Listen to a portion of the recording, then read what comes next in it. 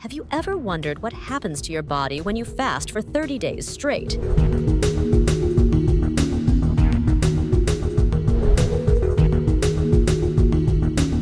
From sunrise to sunset, does it make you healthier or does it break you down? Let's dive in.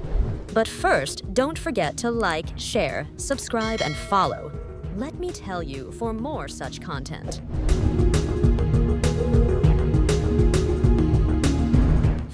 From dawn to dusk for a whole month is a common practice in many cultures, especially during Ramadan. But beyond the spiritual aspect, science shows it has powerful effects on your body and mind. In the first few days, your body reacts to the sudden change. With no food or drink for long hours, blood sugar levels drop, leading to headaches, dizziness, and cravings. Your body starts using stored glycogen for energy, easing you into fasting mode. After a week, your body switches gears. Since glycogen stores are depleted, it begins burning fat for fuel. This promotes weight loss and detoxification as stored toxins are released. Your metabolism starts adapting and energy levels stabilize. By the second week, many people notice increased mental clarity.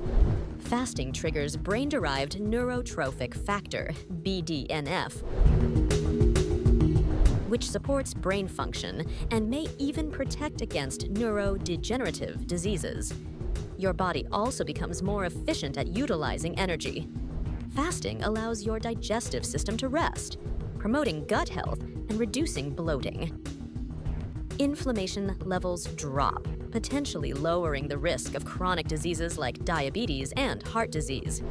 By the end of 30 days, you'll likely notice weight loss, improved digestion, better focus, and a stronger immune system.